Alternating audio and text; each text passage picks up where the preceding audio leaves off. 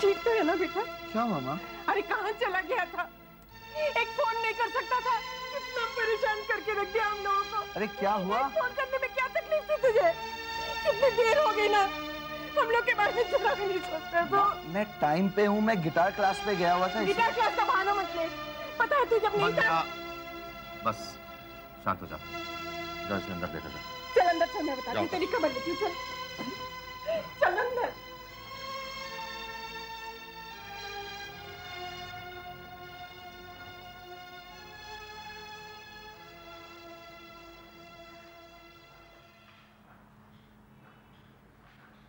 Sir? हुँ? Sir कोई बात तो ज़रूर है। ये फ़ोन ये धमकियाँ मुझे लगता है कि कोई हमारे पीछे पड़ा हुआ है। सर हमें आकाश का खास तौर पर ध्यान रखना चाहिए। तुम ठीक कह रहे हो सर। सर मैं भी चलता हूँ अभी। अगर मेरे लायक कोई भी काम हो तो आप प्लीज़ मुझे फ़ोन कर दीजिएगा। Okay thank you very much sir it's my pleasure sir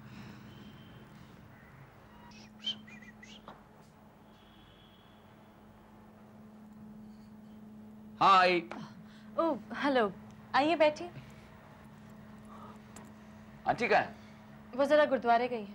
अच्छा। क्या बात है आप कुछ दिनों से ऑफ़िस नहीं आई? मेरी तबीयत ठीक नहीं है। अच्छा कोई खास बात आई मीन डॉक्टर को कंसल्ट किया? नहीं नहीं ऐसी कोई खास बात नहीं है बस ज़रा सा जुकाम है। और वैसे भी काफ़ी दिनों से कुछ छुट्टियाँ ड्यूज थी। सोचा इसी बहाने उसे अवेल कर लिया जाए। ग्रेट अब बताइए आपने इस बंदे को याद कैसे किया? कोई खास बात? हाँ। कुछ ऐसा ही समझ लीजिए। बात तो बहुत ही खास है।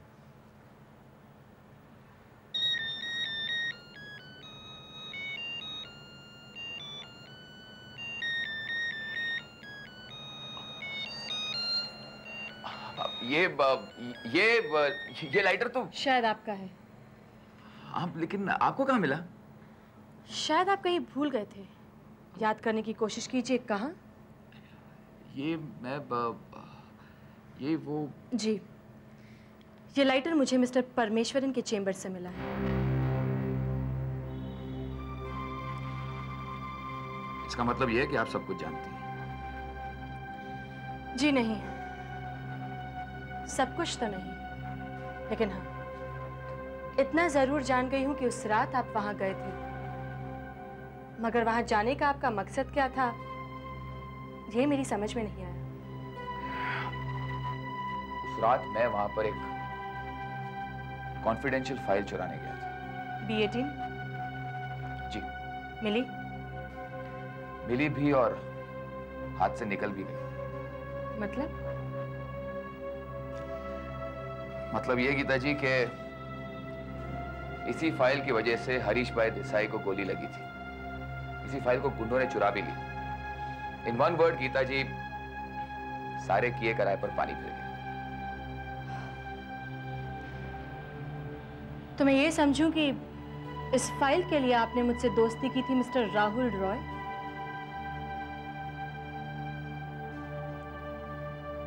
आपका सिक्स सेंस क्या कहता है गीता जी? जी। जी। अरे इस जी से तो मेरा जी घबराने लगता है गीता जी। मैं कुछ समझी नहीं।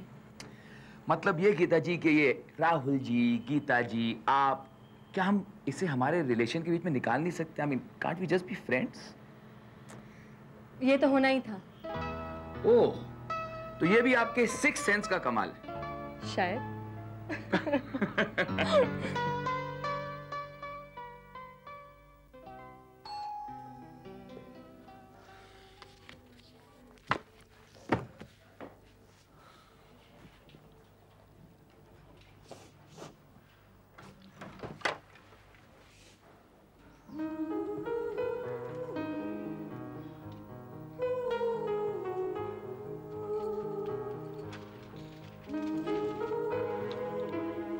यूँ रहोगे क्या? अंदर नहीं आने दोगे? हाँ।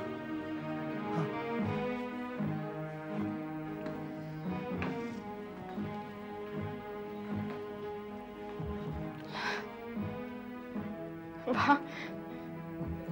घर तो बहुत अच्छा है तुम्हारा। छोटा सा प्यारा सा। मैंने चाय रखी थी। मैं देख कर आता हूँ। तुम बैठो ना।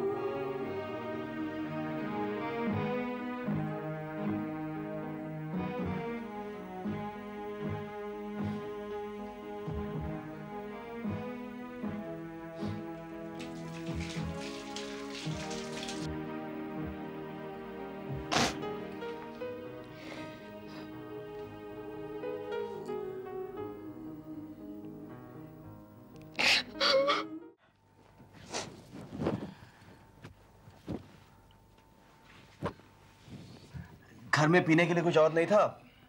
सो चाय से चीयर्स कर लेते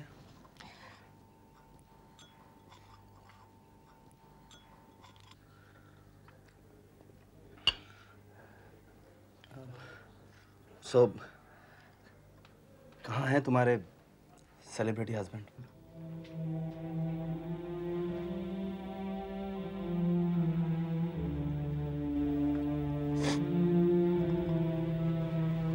बारे में तुम्हें जानकारी देने आई हूँ कि ये भ्रम तुमने कैसे पाल लिया तो क्या मेरे प्यार में दीवानी होकर चली आई हो? ये भ्रम पालने के लिए कह रही हो? कर रहे हो मुझे। करो। आप मुझे कोई फ़र्क नहीं पड़ता। कोई फ़र्क नहीं पड़ता। तुम्हें किस चीज़ से फ़र्क पड़ता है मीनू? सागर मैं यहाँ लड़ने नहीं आई। अगर तुम्हें मेरा यहाँ आना अच्छा नहीं लगा तो कहो मैं अभी ही चली जाती हूँ। नहीं मीना देखो मेरा ये मतलब नहीं था। आई एम सॉरी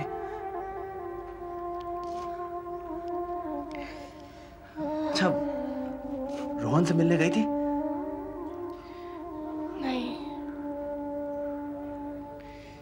तुमसे पूछने आई हूँ। ले चलोगे मुझे? मीना तुम्हें मेरे साथ डर नहीं लगता? इन सालों में तुम क्या आदम खोलोगे जो तुमसे डरना होगा नहीं सच। तुम्हें डर नहीं लगता? झूठ नहीं बोलूँगी। डर लगता है पर तुमसे नहीं। अपने आप से डरती हूँ मैं। अच्छा मीना, मुझे एक बात बताओ। ये शादी क्या तुम्हारी मर्ज़ी से हुई थी?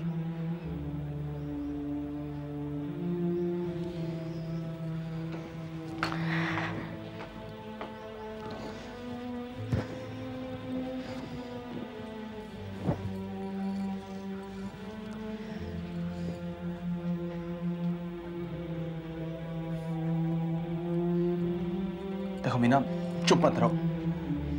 कई सालों से ये एक सवाल मेरे दिल को कुरेद कुरेद कर खा रहा है। कहो मीना।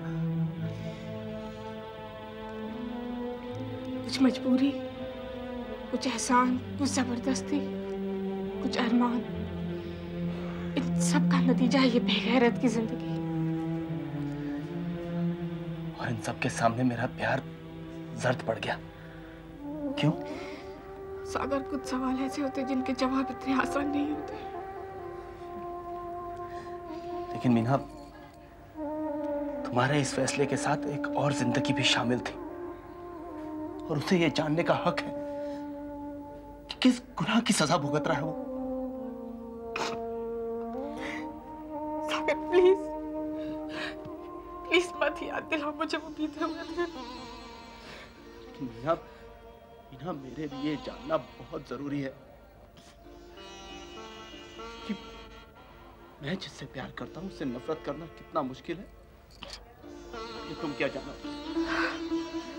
मीना, आखिर वो कौन सी मजबूरी थी जो हम दोनों के बीच दीवार बन गई? बताओ।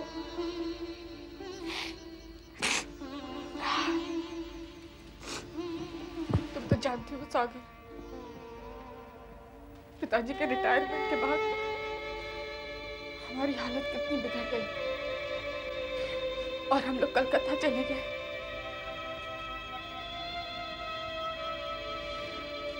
हाँ मैं जानता हूँ। उसी वक्त मैंने भी नई नई नौकरी ज्वाइन की थी। और मैं ट्रांसफ़र होकर मुंबई चला गया। लेकिन मीना मीना मैंने तो तुमसे सिर्फ़ एक साल की मोहलत मांगी थी। बीमारी मोहलत नहीं देती सागर। माँ को? माँ को ब्लड कैंसर हो गया। उनके इलाज में बचा कुछ सांप निकल गया। पिताजी पागल की तरह हो गए। उसी समय अमरीश हमारे घर में देवदूत बनकर आया। मीना! अरे मीना, देखो बेटा कौन आया ये मेरा स्टूडेंट है अपरेश। अपरेश सन्याल नमस्ते ये कॉलेज और यूनिवर्सिटी का टॉपर था बेटा और अभी बड़ा ही होनहार जर्नलिस्ट है। आओ बेटा बैठो। आओ। आओ बैठो। अरे बेटा तू खड़ी खड़ी क्या कर रही है बेटा? जा खाने को कुछ ले जा। अरे नहीं नहीं नहीं मैं नाश्ता करके ही घर से निकला था आप तकलीफ़ मत करिए मीना जी। अरे इसे ची मत कहो ये तो बहुत ही छोटी है। अभी तो स्कूल फाइनल दिए फ़र्स्ट ईयर है। अच्छा अच्छा अच्छा। मैं चाय ले आती नहीं नहीं मैं चाय तो पीता ही नहीं हूँ। आज के जमाने में चाय नहीं पीते? हाँ सर मुझे किसी भी नशे की आदत नहीं है। वाह वाह वाह वाह वाह आज के जमाने में ऐसा लड़का। वाह I am proud of you my boy I am proud of you मेरा जानती है आज रास्ते में अचानक मिल गया परेश। तुम्हारी माँ की बीमारी के बारे में सुनकर कहने लगा सर चाची जी को नर्सिंग होम में डाल दीजिए। जो भी खर्चा होगा मैं दूँगा। बाबा। बेटा देवदूत है ये मीना इंसान नहीं। सर ये मैं कुछ दवाइयाँ और फल लाया हूँ। मीना बेटे इसे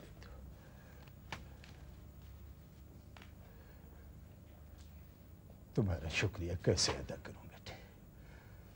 ऐसा लगता है पूर्व जन्म में तुम हमारे बेटे थे। कैसी बातें कर रहे हैं सर? आप अजय पूर्व जन्म में क्यों? हम इसी जन्म में इसे अपना बेटा कह सकते हैं। मीना बेटी जरा यहाँ आओ तो।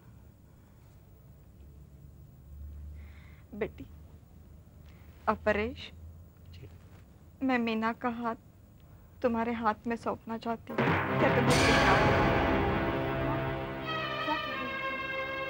तुम्हें इतराज तो नहीं बेटी। नहीं माँ जी मुझे कोई एतराज़ नहीं।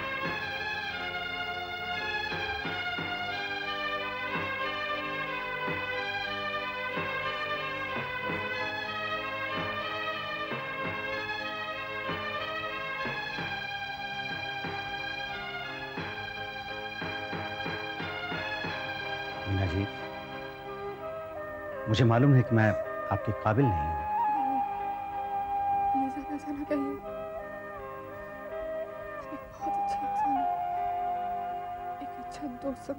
आपसे एक रिक्वेस्ट करना चाहती हूँ। हाँ कहिए। मैं किसी और की अमानत हूँ। आपसे शादी करके मैं आपको धोखा नहीं देना चाहती और आपके एहसानों को भी नहीं बुला सकती। आप मुझ पर दया कीजिए मैं आपसे शादी नहीं कर सकती।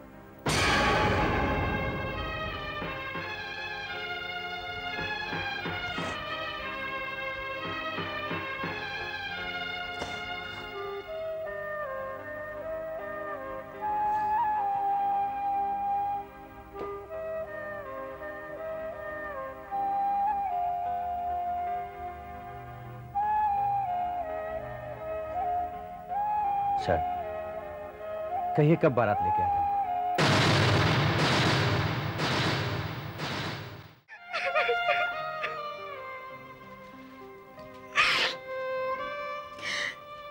ज़िंदगी उस दिन के बाद से हर दिन, हर रात मुझे सताने के नए नए तरीके ढूंढते हैं वो। शादियों की यात्रा तो मैं सह भी लेती हूँ, पर मानती की यात्रा नहीं सह पा रही हूँ मैं अब और। मैं जी भी नहीं सकती, मर भी नहीं सकती।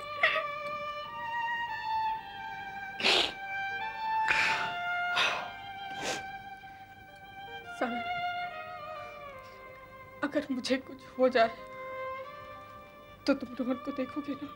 मीना? क्या पागलों जैसी बातें कर रही हो तुम? जीना है मीना तुम्हें रोहन के लिए जीना है।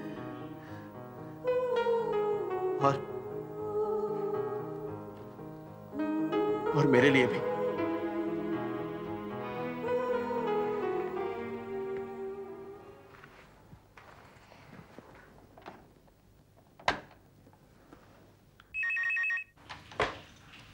यस सर मिस मोना देखिए अगर सागर माथुर आ गए हो तो उन्हें मेरे चेंबर में भेज दीजिए please okay sir mister Sagar mister Shantanu Roy is calling you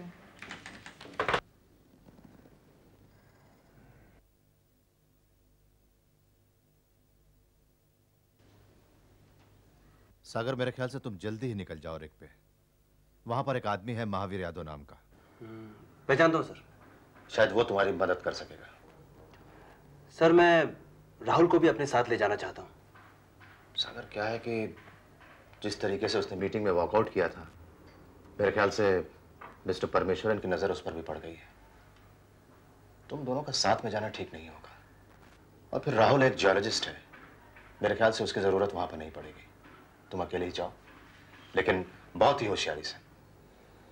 yes sir और हाँ हरीश भाई देसाई आज हॉस्पिटल से डिस्चार्ज होने वाले हैं। मैं उन्हें घर पे ड्रॉप करके आफ्टर लंच यहाँ पर आता हूँ। ठीक है ठीक है सर ओके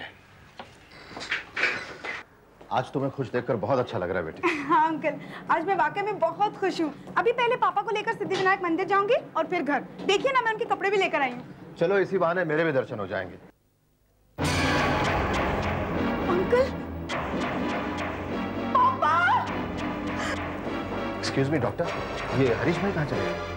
अरे मृणाल आप यहाँ? आपकी तो तबीयत खराब थी। मेरी? किसने कहा आपसे? आपके जो रिश्तेदार आए थे उन्होंने तो बिल भी चुका दिया। और हरीश भाई को साथ लेके चले गए। रिश्तेदार? डॉक्टर साहब आप प्लीज़ साफ़ साफ़ बताइए कहाँ है दो आदमी आए थे जिन्होंने कहा कि इनकी तबीयत खराब है। फिर हरीश भाई से मिले और हरीश भाई बगैर किसी से मिले चले गए। I find it very strange अब क्या होगा अंकल?